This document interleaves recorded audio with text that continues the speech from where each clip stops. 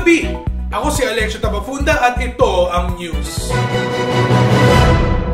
Isang truck ng bangus nabangga sa QC. For more, let's go to our street reporter. May asong tumae sa mukha ko!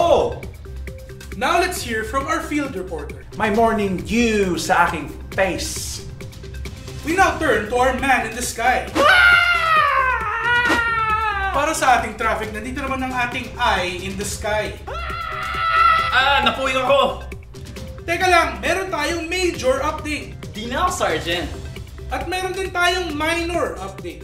AB pa rin ako. Now, our weather forecast. May bagong bagyo! Grabe talaga yung weather, no, Ko Amber? Oo, buti na lang nakakapit ako sa boat. Mhm, buti nga, buti nga. Teka lang, meron tayong developing story. Sarado niyo yung pinto! And finally, sports with our sportscaster. Basketball! Tennis! Bowling!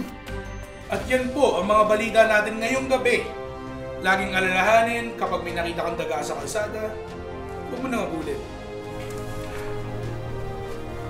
Diba? Ah, anchor ka nga. Ako tao.